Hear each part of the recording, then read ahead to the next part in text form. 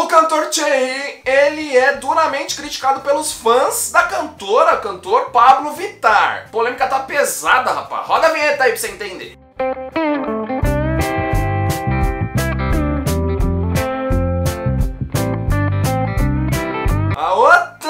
Bonito! Bom, eu sou o Mineiro Bento, você está aqui no canal TV, meu sertanejo, canal mais sertanejo do Brasil.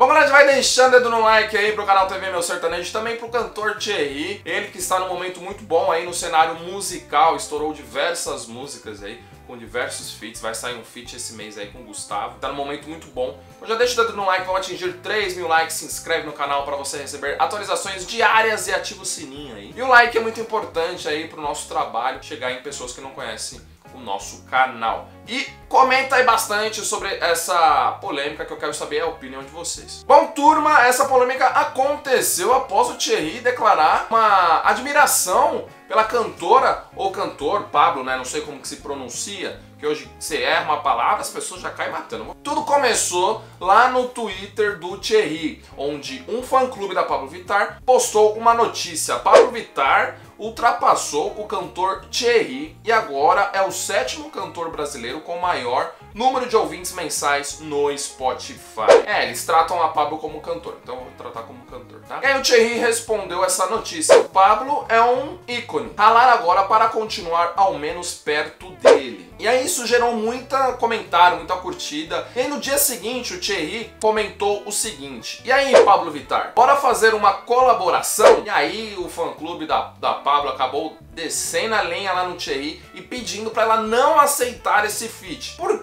os fãs do Pablo não aceitaram e não querem que ele faça este feat? Segundo eles, eles resgataram um vídeo onde o Thierry estava na casa do Carlinhos Maia. E apresentou uma música nova chamada Valesca. Inclusive, ele já falou dessa música no nosso podcast, eu vou colocar aqui no card o podcast que a gente fez com o Thierry, onde ele declara que ele não fez essa música para machucar ninguém, é, ele fez pelo, por respeito às trans, né? E estão acusando aí o Thierry de ele fazer uma música transfóbica. Eu vou colocar aqui o vídeo da música e eu quero saber a opinião de vocês. Depois eu vou falar o que o Thierry acabou se defendendo em relação a isso. Coloca o vídeo aí. Tinha uma preocupação, né? Eu tava conversando com o Lucas, existe preocupação toda da gente saber se é, é, existe alguma coisa ofensiva ou não. Não vai ter, porque a música tá linda. Eu tenho certeza que é uma homenagem incrível que você tá fazendo. sim. E eu tenho certeza que todas elas vão amar. Vá por mim. Vamos ver. Vá por mim. Presta atenção. Vou cantar na capela aqui pra galera aprender.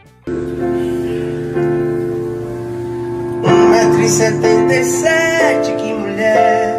Uma desse naipe todo homem quer. Toda meiga e carinhosa. Sua voz grossa. Tive ela na cama só no imaginar. Disse eu só faço depois de casar. Eu respeitei,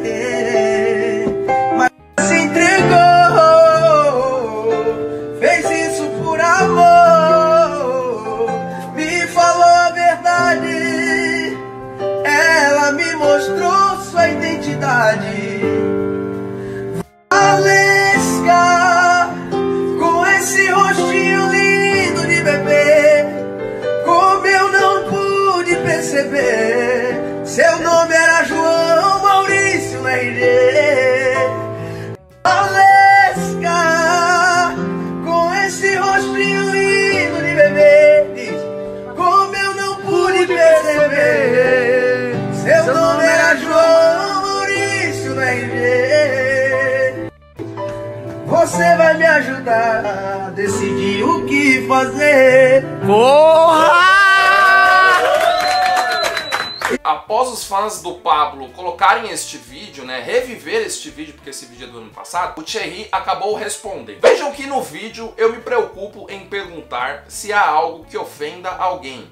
E a partir do momento que uma pessoa se ofende, eu não me vejo no direito de lançar Hashtag respeito. Se ofender uma pessoa, eu não me vejo no direito de lançar. Peço perdão se ofendi alguém, mas quis falar de um relacionamento que venceu o preconceito. Essa foi a minha intenção. O final dizia: Bom que agora você é o que nasceu para ser.